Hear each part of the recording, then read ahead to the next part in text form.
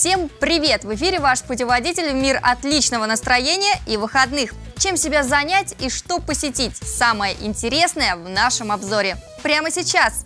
Поехали!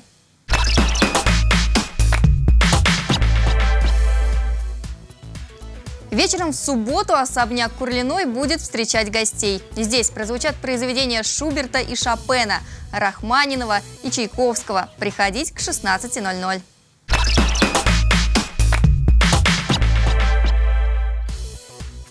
21 февраля в Самаре День индийской культуры. А это значит, что для жителей города подготовили безумное количество мастер-классов по танцам, музыке, йоге и не только.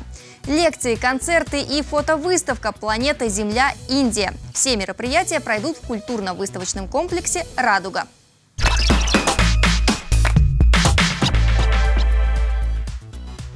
Узнать все об истории русского оружия и доблести российских войск можно будет 23 февраля в музее Алабина.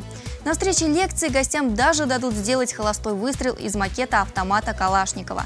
Расскажут все о легендарном Т-34 и Ил-2, а также покажут опыты по действию реактивной силы. Кроме того, для гостей готовят мастер-классы, конкурсы и викторину. Начало в 11 и 14.00.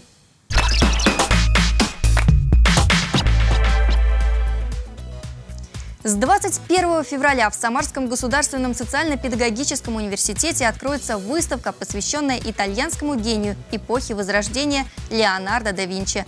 Выставка расскажет о развитии научной и художественной мысли, опережающей технический прогресс на целые столетия.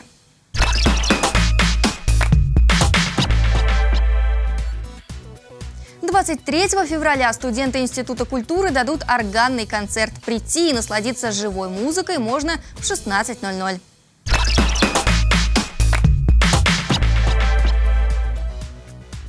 Тридцать две сонаты Бетховена – это фестиваль фортепианной музыки в художественном музее. Открытие фестиваля намечено на 6 часов вечера 22 февраля.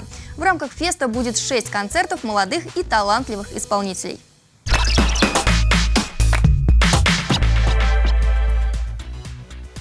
Внимание! Горький в городе. Лекция с таким названием пройдет 22 февраля в Горький центр. Алексей Пешков, больше известный как Максим Горький, начал творческую карьеру именно в Самаре. Купеческий город сформировал его как писателя. Сюда он приехал 125 лет назад. Этой дате и посвящена лекция. Искать особенности писателя начнут в 6 вечера.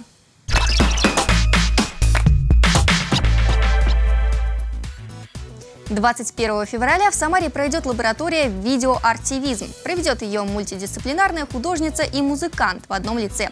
Организаторы обещают, что на лаборатории можно будет самим освоить чудеса создания видеоарта. Лучшие работы участников войдут в выставку.